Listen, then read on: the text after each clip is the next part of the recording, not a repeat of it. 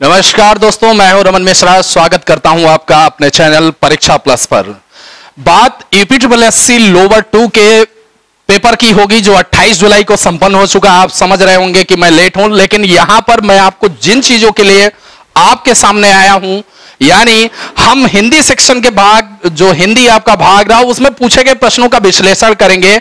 उत्तर कुंजी तो मैं आपको बताऊँगा ही बताऊँगा, लेकिन साथ साथ क्या UP triple S C lower two के बेस पर आप लोअर एग्ज़ाम की तैयारी कर सकते हैं, जो 14 से 15 सितंबर की है? मैं बात इन मुद्दों पर करूँगा। प्रश्न पत्र आपके बाएँ पेज पर, इस पर दिख रहा होगा दाहिने तरफ़।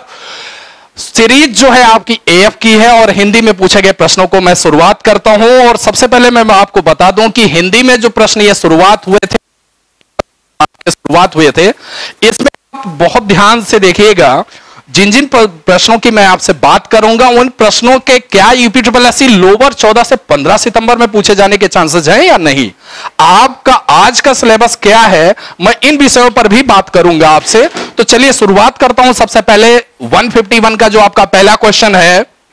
ठीक है? मैं क्वेश्चन भी बताऊँगा और उसके साथ साथ सोल्यूशन भी बताता रहूँगा और उसके आधार पर आप यूपी ट्रिपल एस में क्या तैयार करें, इसका मैं ज़रूरी बिंदु के रूप में आपसे थोड़ी बहुत विश्लेषण इसमें करता चलूँगा। इधर आपको क्वेश्चन दिख रहा होगा। एक सौ इक्यावन नंबर का जो क्वेश्चन है, ये क्वेश्चन बोल रहा है कि अर्थ के आधार पर वाक्यों के भेद बताइए। ठीक है? ऑप्शन इसमें चार दिए हैं। पहला ऑप्शन कह रहा है दो, दूसरा कह रहा है चार, तीसरा कह रहा है छह और तीसरा चौथा ऑप्शन कह रहा है डी आपका आठ। तो देखिए, अर्थ के आधार पर अगर हम देखें, वैसे वाक्य का जो आधार होता है, वाक्य की रचना दो आधारों पर होती है। ठीक है? एक सौ इक्यावन नंबर का क्वेश्चन है। समझ लीजिए इसको वाक्य की रचना के आधार दो हैं।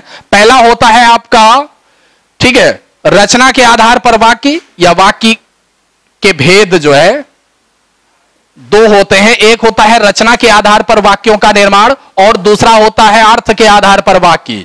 तो इसमें अर्थ के आधार पर आपसे पूछा है, रचना के आधार पर वाक्यों के तीन प्रकार हैं। पहला वाक्य आपका आता है साधारण वाक्य दूसरा आपका आता है संयुक्त वाक्य और तीसरा वाक्य जो आपको मिलता है यह होता है मिश्र वाक्य।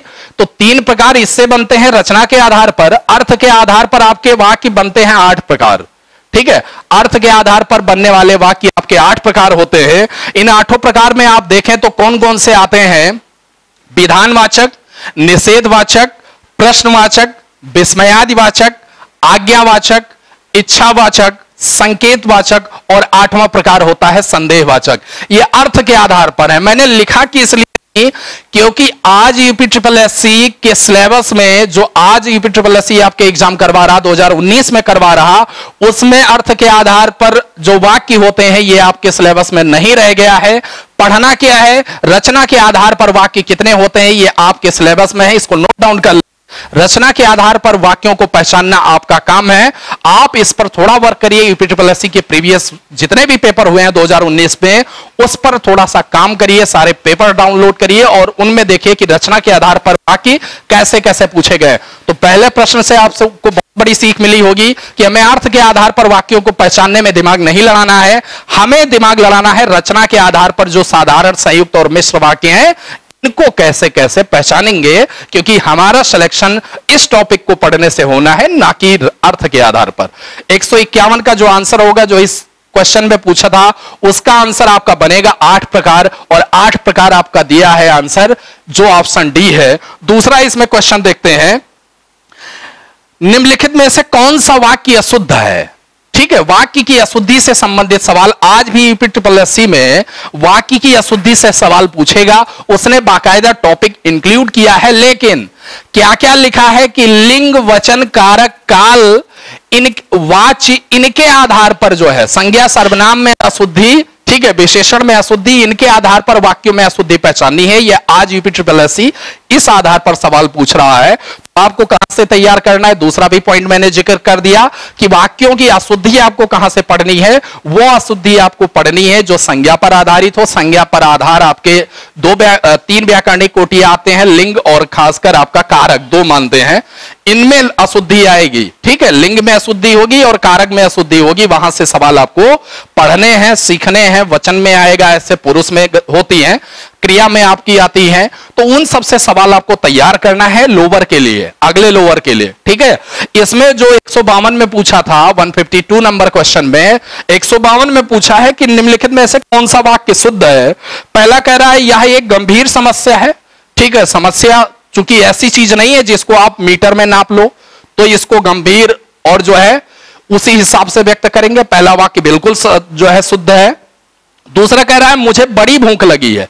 भूख का कोई ऐसा पैमाना नहीं है कि लंबाई और चौड़ाई में माप सको।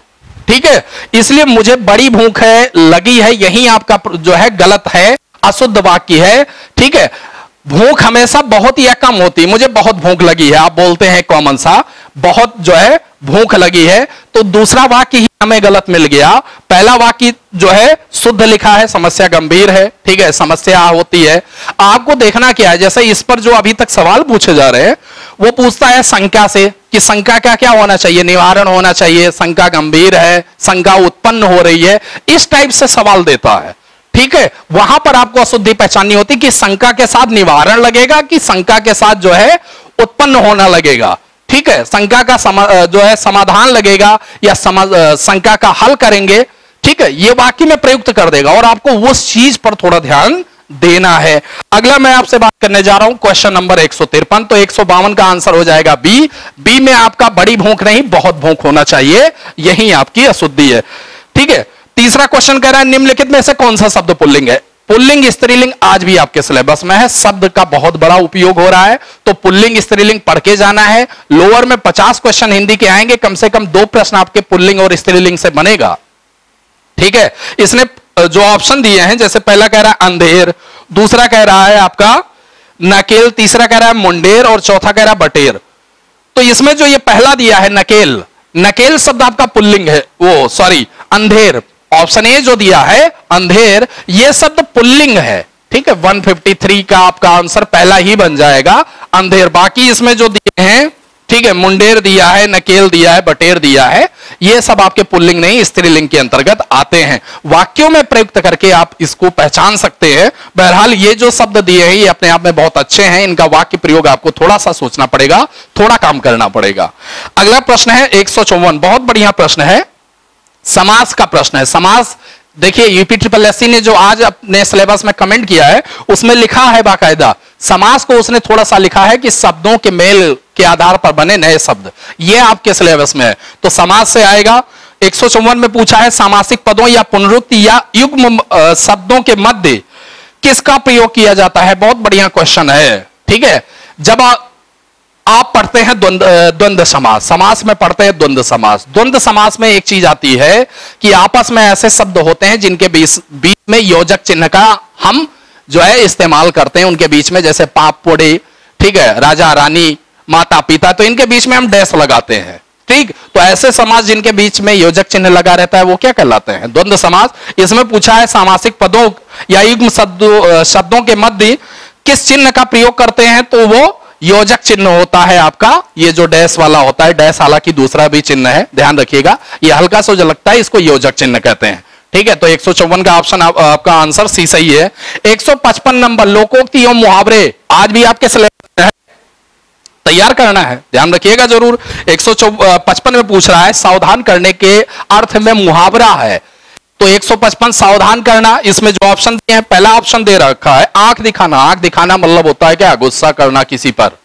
आँख दिखा रहे। ठीक है, जवाब जवाब दे रहे हैं तो अक्सर बोला जाता है, मुझे आँखें दिखा रहे हो।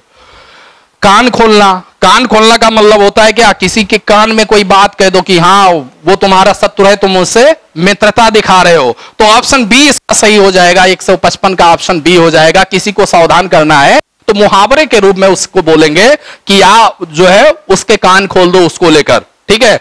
इसमें ओट चबाना ओट चबाना मतलब क्या होता है? अपने अंदर ही अंदर बहुत ज़्यादा गुस्सा हूँ, आग बबूले हूँ आप। खून पीना, परेशान करना किसी को। कहते नहीं, आप मेरा खून पी रहे हो, तंग कर रहे हो। अगला इसमें दिया है एक सौ छप्पन नंबर। हृदय पवित्र तो सब कुछ ठीक के अर्थ में लोकोक्त एक प्रश्न लोकोक्तियों से, एक प्रश्न मुहावरे से मिल चुका है। दोनों आपको तैयार करना है। ध्यान रखिएगा। यूपी में आज के सिलेबस लोअर के लिए ज़रूरी है। ठीक है, इसमें दिया है एक सौ छप्पन में कि हृदय पवित्र पवित्र तो सब कुछ ठीक के अर्थ में लोकोक्ति क्या है? ऑप्शन चार दे रखे। पहला कह रहा है, मान ना मान मैं तेरा मेहमान। ये तो ज़बरदस्ती वाली बात हो गई। इसका और इसका कोई सेंस ही नहीं मिल रहा। देखो, लोकोक्ति क्या होती? लोकोक्ति वो होती है जो जनमानस में किसी बात को लोग बोलने लगते हैं। उदाहरण के तौर पर वो लोकोक्ति होती है। मुहावरा आपका अर्थ विशेष देता है। लोकोक्ति और मुहावरे में यही अंतर है। मुहावरे का एक विशेष अर्थ होता है, जबकि लोकोक्ति ये जनमानस की भावना है। मतलब लोग कुछ और बोलने लगते हैं। किसी को वो हमारे आम बोलचाल की भाषा में आ जाता है। इसीलिए उसको लोकोक्ति कहा जाता है मुहावरे को। ठीक है? इसमें बोल रहा है, दूसरा कह रहा है, मार मार कर हकीम बनाना, किसी को ज़बरदस्ती कोई काम कराना तो ये तो इसका रिलेशन है नहीं। अगला बोल रहा है पराए धन पर लक्ष्मी नारायण, दूसरों के धन पर ऐठ दिखाना यह भी कोई आपका इसका सेंस नहीं बन रहा है। अगला बोल रहा है, डी मन चंगा तो कठौती में गंगा, बहुत अच्छा इसका अर्थ है। इसी लोकोक्ति का अर्थ होता है कि हृदय पवित्र तो सब कुछ ठीक। कबीर दास के दोहे याद करिए मन चंगा रहीम दास वाले। ठीक, रहीम दास जी बोला करते थे कि अगर मन चंगा है तो कठौती में ही गंगा है। ये एक सौ छप्पन का डी हो गया। तो आप लोग भी मन चंगा रखिए और कठौती में ही गंगा मिलनी है। यानी अगर आपका दिमाग पूर्ण रूप से शुद्ध है, पढ़ाई अच्छी तरीके से चल रही तो 100 परसेंट सफलता मिलनी निश्चित है। आप ये भ्रमवश ना रहे कि हाँ, क्या चीज़ें मैं पढ़ूं, कैसे पढ़ूं, आपको पता है जीएस है हिंदी है, जुट जाओ आँख बंद करके, और जितना कितना जितना मैं आपसे डिस्कस कर रहा हूँ जिन जिन पॉइंट्स को उन्हीं को उठाकर आप शुरू कर जाइए। पचास प्रश्न आएँगे, पचास के आप पैंतालीस प्लस कर देंगे। ठीक है, इसके बाद लेक्चर हिंदी के आपके आएँगे। अगला एक सौ सत्तावन कह रहा है, वाराणसी, गोरखपुर, आरा। ठीक है, कि मध्य कौन सी बोली बोली जाती है? ठीक तो कहा हालचाल बा, कैसन बा हो? आप जानते हैं, ये कौन सी भाषा है? भोजपुरी। अवधि तो अपने लोगों की है। कहा जातो भैया, कैसन है? ठीक है? ये अवधि है आपकी। लेकिन जो भोजपुरी है कहा हाल चाल बा? आप लोगों में से बहुत सारे लोग ऐसे जो भोजपुरी के फ़ैन हैं। ठीक है? और सबसे बड़ी चीज़ है, जब आप ऑटो में बैठते हैं तो फ़ैन ना हो, तब भी ऑटो वाले आपको सुना देते हैं। एक से एक भोजपुरी, जिनके अर्थ आप घर तक सोचते हैं बहरहाल। तो ये भोजपुरी वाली है। ठीक है? जिस पर अभी वर्ल्ड कप में वहाँ पर डांस कर रहे थे सारे अपने भारत के प्रेमी, लगावे लू तू लिपस्टिक। बहरहाल आप लोग समझदार हैं, एक सौ अट्ठावन पर मैं बढ़ रहा हूँ। 158 नंबर क्वेश्चन ठीक है? शुद्ध वर्तनी का चयन करें, एक सौ अट्ठावन में आए। वर्तनी से दो क्वेश्चन आ रहे जो 50 प्रश्न आते हैं आपके, उसमें वर्तनी से दो प्रश्न आ रहे हैं। इसमें चूँकि प्रश्नों की संख्या कम है, इसलिए वर्तनी से इसमें जो सवाल पूछा गया है, केवल एक, बहुत आसान सी वर्तनी दी। अभी आप वर्तनियों पर आपको काम करना है, क्योंकि दो क्वेश्चन आए, चार नंबर हो गया, और एक गलत कर दिए तो तीन नंबर घर से दे आए। नुकसान बहुत बड़ा है, इसलिए वर्तनी पर थोड़ा काम करना है। बहुत सारे ऐसे शब्द हैं, जिनको बोलते तो कुछ और है, लिखा कुछ और जाता है। बोलने के आधार पर उसमें व्याकरणिक त्रुटियाँ होती हैं। इसमें दिया आपका ऋषि है तो एक सौ अट्ठावन का जो आपका आपका ऑप्शन पहला है, ऋषि, यही आपका सही है। ठीक है? बहुत आसान सी वर्तनी आई थी, बहुत अच्छा ऐसे ही आप लोगों को मिल जाए। अगली चीज़ पैसेज दिया अनसीन पैसेज है। अनसीन पैसेज आपके शुरुआत हो रहे बहुत छोटा सा दिया है, एक और 160 केवल दो क्वेश्चन को सबमिट किया है। जब क्वेश्चन आपके संख्या 50 होगी तो कम से कम पाँच प्रश्न इनसे बनते हैं। ईपी ट्रिपल एस ने सिलेबस में लिख रखा है, सबसे पहला पॉइंट जब आप पढ़ते हैं तो उसमें लिख रखा होता है कि पत्र से संबंधित सवाल, दूसरे पॉइंट में वो लिख रखा होता है कि आपके जो ये हैं अनसीन पैसेज यानी जिनको आपने आज तक पढ़ा नहीं है, देखा नहीं है, ऐसे पैसेज पूछे जाएँगे, उनसे सवालों के जवाब देने। उसी में आपसे कहता है कि मैं आपसे शीर्षक से संबंधित सवाल पूछूँगा। इसमें शीर्षक से संबंधित एक सवाल पूछ लिया। तो शीर्षक कैसे पहचानना है? ये सब बहरहाल मैं टॉपिक आपको और अच्छे से अपने हिंदी के लेक्चर में बताऊँगा। लेकिन इसमें एक सौ वन फिफ्टी नाइन का जो क्वेश्चन पूछा है, बहुत आसान सा पूछा है, कोई अर्थ विशेष नहीं पूछ लिया। नहीं तो गड़बड़ हो जाती। एक एक सौ उनसठ में पूछा है, सीता जी को अमर कीर्ति किसके कारण प्राप्त हुई? तो जब आप इस पैसेज को पढ़ेंगे तो पहला वाला जो आपका इसमें एक तरीके से पैराग्राफ है, और पहले वाले में ऐसा कोई आंसर नहीं मिल रहा। दूसरा वाला जब आप पढ़ते हैं तो दूसरे वाले में दिया है कि उस कीर्त का एकमात्र उदाहरण है अपने धर्म और कर्तव्य के लिए उसका कष्ट सहन, किसका? सीता का। तो 159 का आंसर, एक सौ उनसठ का जो आंसर होगा यह सही होगा आपका ऑप्शन डी। ठीक है? अगला दिया, उपयुक्त गद्यांश का शीर्षक बताइए। बहुत बढ़िया, जो प्रश्न मैंने आपसे बात किया था कि पैसेज में ऐसा यूपी ट्रिपल बोला है, वही प्रश्न आपके सामने आ गया। तो सावधान हो जाइए, शीर्षक को पहचानने से ज़रूर इस पर अभ्यास करिए, क्योंकि इस पर गलती करना आपके लिए तीन नंबर की बात है।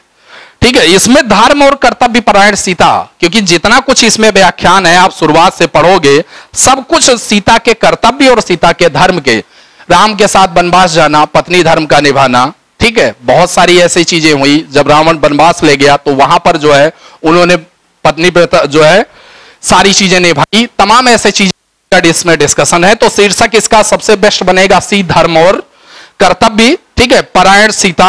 अगला एक सौ इकसठ नंबर, जिसकी मैं बात कर रहा था यूपी ट्रिपल एस ने आज के सिलेबस में अपने दे रखा है कि संक्षेपण आना चाहिए। इंग्लिश में बोलते हैं प्रेसिस राइटिंग संक्षेपण पूछा है, कितने शब्दों में लिखना चाहिए? वन बाई थ्री बहुत आसान है। कोई भी संक्षेपण लिखा जाता है, लिखा, जब आप लिखते हैं तो एक तिहाई में संक्षेपण लिखा जाता है इंग्लिश में। ठीक है? सीएपीएफ की आप परीक्षा देने जाओगे, उसमें पूछता है यूपीएससी कराती है। सीएपीएफ उसमें देने जाएँगे तो वहाँ आपसे पूछता है संक्षेपण, प्रेसिस राइटिंग आती है। इंग्लिश में पैराग्राफ होता है, उसको एक बिटा, एक बटे तीन में लिखना होता है। तो संक्षेपण कितने शब्दों में? एक इकसठ का जवाब होगा ए। इसको पढ़ लीजिएगा। लोअर के लिए इंपॉर्टेंट है, क्योंकि क्वेश्चन आएँगे इससे हंड्रेड परसेंट। अगला एक सौ बासठ, जो यूपीएससी लोअर आज आपसे पूछ रहा है पत्र, सबसे पहले उसने लिख रखा है, ठीक है? ग्यारह बारह पॉइंट उसने लिखे हैं, तेरह पॉइंट, और उसमें से सबसे पहला आपका एक सौ इकसठ नंबर आपका हो गया है, एक सौ बासठ में पूछा है कि अगर आप पत्र लिखते हैं किस प्रकार का? वैयक्तिक, ठीक है? व्यक्तिगत पत्र लिख रहे हो तो आपके व्यक्तिगत पत्रों में, देखो, पत्र शासकीय, अशासकीय, ठीक है? आपके गवर्नमेंट होते हैं सेमी ऑफिशियल होते हैं, इन्हीं से हमें बात करनी होती है, इन्हीं से। इसमें पूछा क्या है, वैयक्तिक पत्र किनके मध्य लिखा जाता भाई, व्यक्तिगत लिख रहे हैं हम, ठीक है? हमारा कोई मित्र है, हमारा कोई दोस्त है, हमारा सगा संबंधी है, फूफा जी हैं, मौसा जी हैं, ताऊ जी हैं, हम उनको अपना व्यक्तिगत पत्र लिख रहे हैं कि हाँ घर में क्या हालचाल है, हमारे यहाँ बढ़िया है। तो व्यक्तिक पत्र है, वो किसके? सगे संबंधी और मित्रों के मध्य ऑप्शन भी आपका सी दे रखा है। सी ऑप्शन सही हो गया। ठीक है, व्यवसायियों के मध्य, व्यवसायियों के मध्य हमेशा बिज़नेस को लेकर पत्र लिखा जाता है। वहाँ पर आपका क्या होगा, व्यवसायी से व्यवसायी के मध्य में अनौपचारिक के तहत आएगा, क्योंकि वो ऑफिशियल नहीं है, अनौपचारिक पत्र का उदाहरण होगा।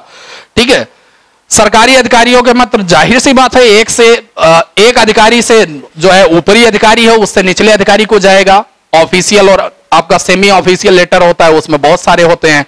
सभी अधिकारियों को बताना तो परिपत्र जारी होता है, सूचना जारी होती है, अधिसूचना जारी होती है ये सब बहरहाल में लेक्चर में बताऊँगा आपको। अगला है एक वर्णमाला से इसने पहला मुझे सवाल दिया है। वर्णमाला से पाँच क्वेश्चन आने के लिए एकदम हंड्रेड परसेंट तैयार रहो। वर्णमाला से पाँच क्वेश्चन पूछेगा, बहुत ज़्यादा दस नंबर के सवाल हो गए आपके। तो वर्णमाला बहुत अच्छे से पढ़ना है। बहरहाल जितना वर्णमाला मैं आपको इसमें पढ़ा दूँगा, लेक्चर जो मेरा होगा, आप उतना पढ़ लो, पाँच क्वेश्चन के लिए इनफ है, चाहे जहाँ से पूछ लेगा। ठीक है? इसमें पूछा है कि चाचा जाजा इया का उच्चारण कहाँ से होता है? तो तालब भी। चाचा जाजा इया जीव कहाँ? जो मुँह है आपका, उसके ऊपरी फ्लैट पर टच होती है। चाचा जाजा इया ठीक है? जीव वहीं टच हो रही है, ऊपर जाकर के। बोल के आप देख लीजिए। ठीक है, वर्णमाला में। तो ये तालब भी हो जाएगा, आंसर सी सही हो जाएगा। 163 का आंसर सही होगा। तीसरा, सी वाला। एक स्वर संधि के कितने प्रकार? संधि से सवाल पूछ लिया। बहुत अच्छा। ठीक है? संधि उसमें चूँकि आपके वो दिया हुआ है यूपी ट्रिपल एस में। संधि से ज़रूर पढ़ना है और आजकल पूछ क्या रहा संधि विच्छेद पूछ रहा है। तो संधि विच्छेद तभी आप कर पाओगे जब आप संधि पढ़ते हो।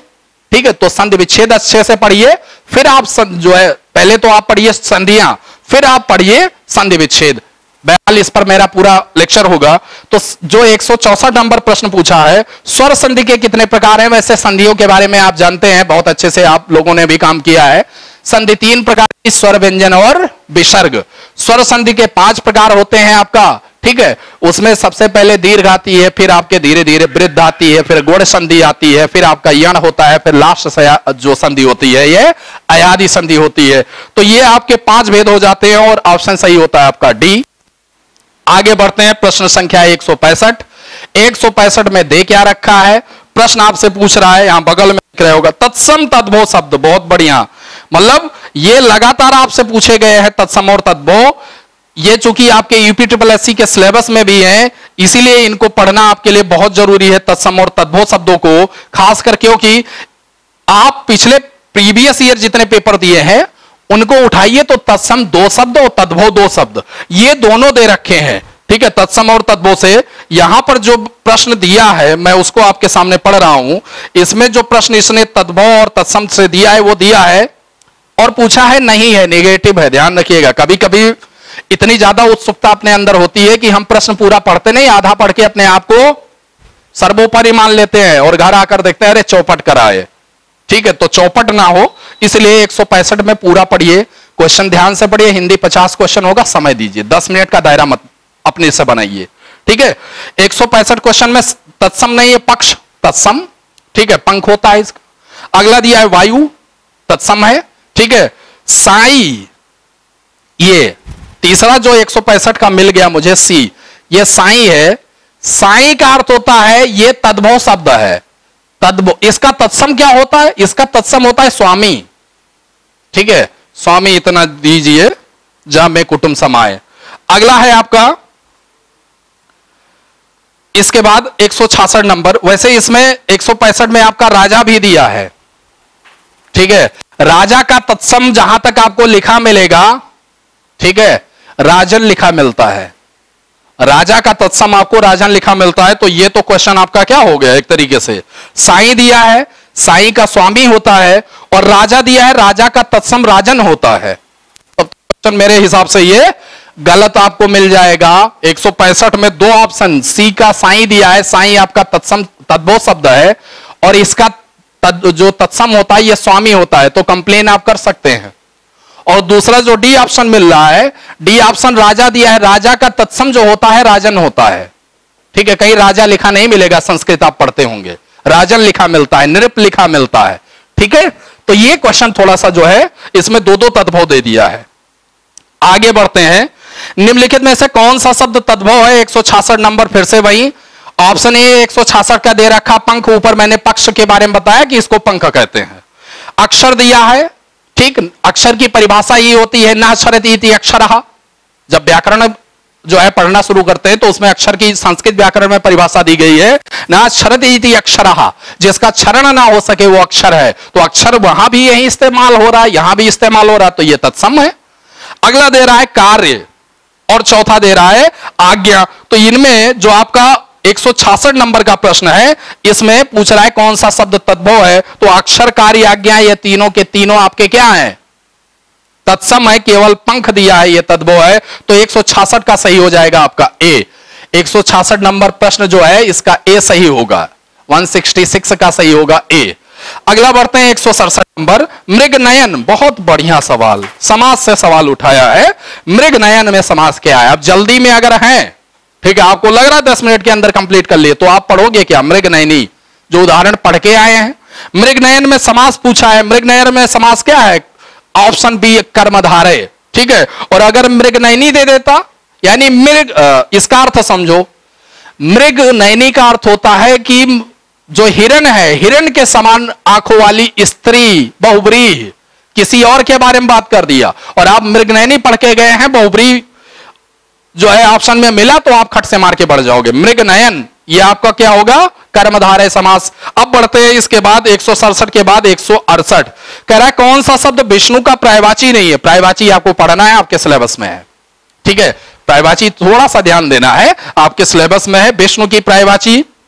तो विष्णु का अवतार भगवान राम और विष्णु का अवतार भगवान कृष्ण। तो कृष्ण को जो जो बोलते हैं, राम को जो जो बोलते हैं, दोनों विष्णु को बोलेंगे। ज़ाहिर सी बात है, इसमें दिया है केशव। कन्हैया को केशव भी बोलते थे। चक्रपाणी, विष्णु का नाम ही है, बहुरी समाज का उदाहरण भी है। ठीक है, हाथ में जो चक्र धारण करता है, दामोदर इन्हीं को बोलते हैं। मुक्त पुरुष, मुक्त का मतलब क्या? खाली एकदम। पुरुष मतलब कोई ऐसा व्यक्ति मिल गया, जो एकदम खाली है, संसारिक जीवन जो है मोहमाया से। सन्यासी, साधु जिसको कहते हैं आप। ठीक है, कुछ लोगों का विचार होगा, लेकिन ऐसा बनना नहीं है। एक सौ अड़सठ नंबर जो प्रश्न बता रहा है, ये आपको मुक्त पुरुष कह रहा, घोषित कर रहा है। तो इसका डी शुरू हो, डी सही होगा, मुक्त पुरुष यानी साधु। विष्णु का प्रायवाची नहीं है। विष्णु साधु नहीं है, मोह माया वहीं सब बैठा है, जो है संसार में, दिए बैठे हैं, ऐसा हमें मिलता है हमारे धर्म ग्रंथों में। एक सौ उनहत्तर नंबर क्वेश्चन कह रहा है, निष्कलुष का विलोम क्या है? निष्कलुष, इसका विलोम सबसे बेस्ट ऑप्शन सी दिया है, कलुष। ठीक है विलोम भी आपको पढ़ना है।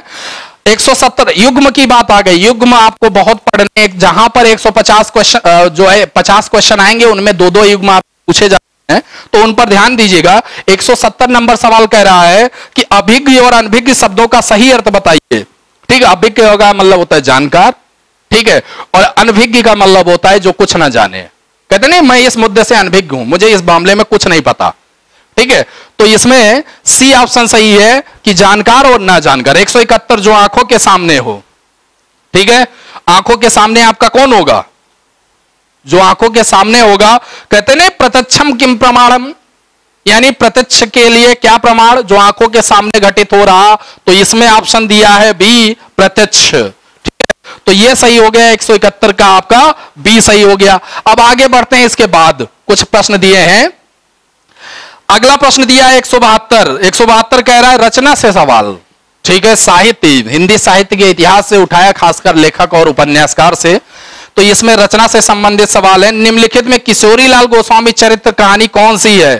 ठीक है, इंदुमती जिसको हिंदी भाषा का एक तरीके से पहली मौलिक कहानी का दर्जा प्राप्त है। यह ध्यान रखिएगा, हिंदी भाषा की पहली मौलिक कहानी कौन सी है? इंदुमती, रचनाकार किशोरी लाल गोस्वामी। अगला, इसके बाद सवाल निम्नलिखित में से कौन सा शब्द विदेशी? विदेशी शब्दों को पढ़ना है भाई। शब्द जब आप पढ़ोगे, ठीक है, और शब्दों को जब आप पढ़ने लगते हो, उत्पत्ति के आधार पर, उत्पत्ति के आधार पर शब्द के पाँच भेद बनते हैं। तत्सम शब्द, तत्भव शब्द, देशज शब्द विदेश शब्द और आगत शब्द। ठीक है? ये आपको पाँच प्रकार पढ़ने हैं और उन्हीं में से इसमें जैसे कमर दिया है, कमर जो आपका शब्द है, ये फारसी भाषा का शब्द है। अगला दिया है कमरा। कमरा शब्द पुर्तगाली है, उसके बाद दिया है कमेटी कमेटी, ऑफिसर, ठीक, ट्रेन, ये सब क्या है? अंग्रेज़ी शब्द है। चौथा दिया है कान, अपना देशज वाला ठीक है? क्योंकि कान तद्भव है, कान का तत्सम होता है कर्ण। उसके बाद 173 के बाद देखें 174 नंबर कौन सा शब्द पुल्लिंग है? तो पुल्लिंग में आप देखें इसमें मंत्रणा कहते नहीं, कौन सी मंत्रणा चल रही है आप लोगों की? तो पुल्लिंग हुआ नहीं, स्त्रीलिंग हो गया। फिर सभा, कैसी सभा बैठी है? ठीक है, गाँव के जो आपसे बड़े बुज़ुर्ग है, वो यही पूछेंगे, चार लोग अगर इकट्ठे हैं, कौन सी सभा लगाए बैठे हो? अगला है मंडली मंडली भी स्त्रीलिंग में आएगा, न्याय। हमको न्याय मिलना चाहिए, उसको न्याय मिलना चाहिए। इसका इस्तेमाल हम किस तरीके से करते हैं? पुल्लिंग से। तो एक सौ चौहत्तर का डी सही हो गया। लास्ट ऑप्शन है पत्र से। बहुत बढ़िया। पूछ लिया जो टॉपिक में कह रहा था। पत्र से फिर से एक सवाल इसने पूछा है। निम्नलिखित पत्रों में अभिनिवेदन। अभिनिवेदन शब्द इस्तेमाल किया है। गौर करिएगा। अभिनिवेदन का अर्थ होता है कि जब आप किसी को पत्र लिखते हैं तो लास्ट में सबसे ज़्यादा आप उसके लिए कुछ आज्ञा सूचक शब्दों का इस्तेमाल करते हैं। ठीक है? जैसे आपका आज्ञाकारी सिक्स, आपका शुभेच्छु आपका जो है शुभ इसमें ऑप्शन जो दे रखा है 175 में, पहला ऑप्शन आपका आपका बहुत कम इस्तेमाल होता है, आप कुछ ना कुछ लिखे हुआ आपका अपना, ठीक है?